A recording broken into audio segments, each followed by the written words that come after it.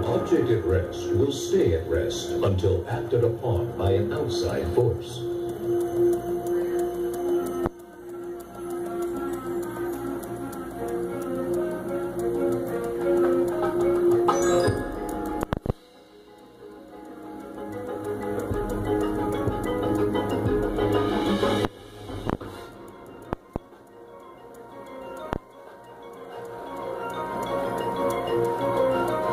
You.